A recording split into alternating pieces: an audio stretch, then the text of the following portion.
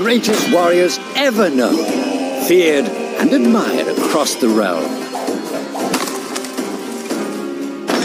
Ready to fight once more for the glory and prosperity of their people.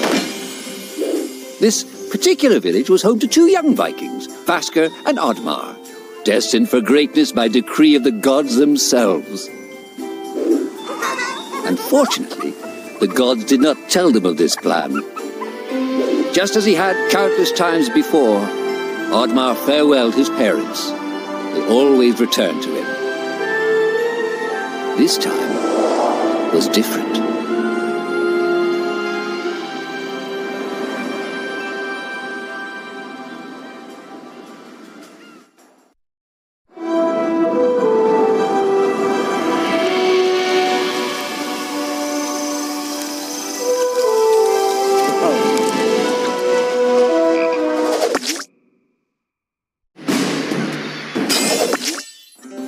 Years passed, and the Viking warriors continued on their pillaging voyages and grew ever richer. The Viking chief was proud of his people, but he was greedy, single minded. He wished to expand his village, regardless of the consequences.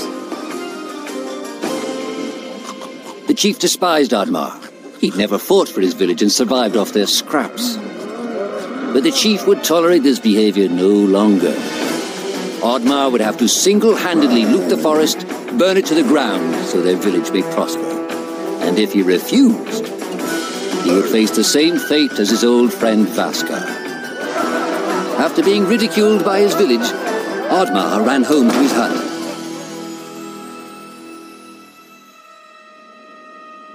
Oddmar felt hurt and lost. He loved his people, but he couldn't be what they wanted him to be. Perhaps he thought he wasn't a true Viking.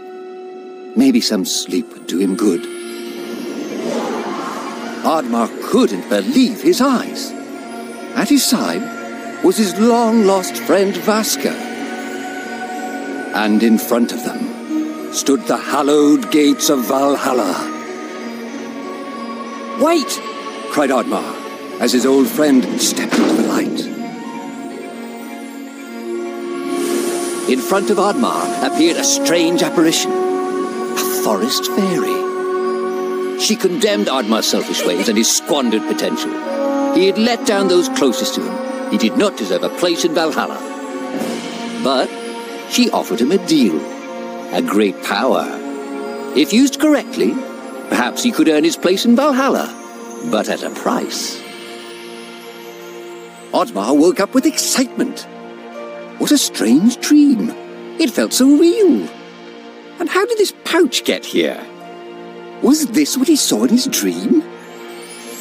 He looked inside the bag. A mushroom?